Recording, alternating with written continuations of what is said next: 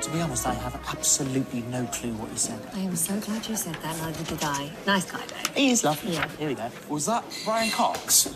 Yes, it was. Hi. I'm Holly. Nice to meet you. You must be Craig. Hi. Do you want to... You all right, mate? Go and have a seat. They all do that. All right. Okay. Uh, hi. Yeah. Ah, you must be Rosie. Gemma, Gemma. you can call me whatever you want. Yeah, I always thought you'd be uh, bigger. They all say that too. Come on, come on, have a seat. Come on. Hi. Sorry, everyone. Eyelash emergency. Hiya. Rosie, lovely to meet you. Thank you for making such an effort. Come and have a sit down. Come and have a seat. Oh, thanks, Phil.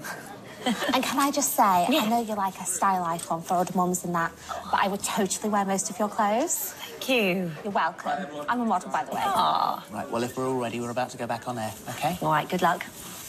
Here we go. Names. I Can't mention your deals. Can't mention your names. Can't mention. C- can I go to the toilet? No!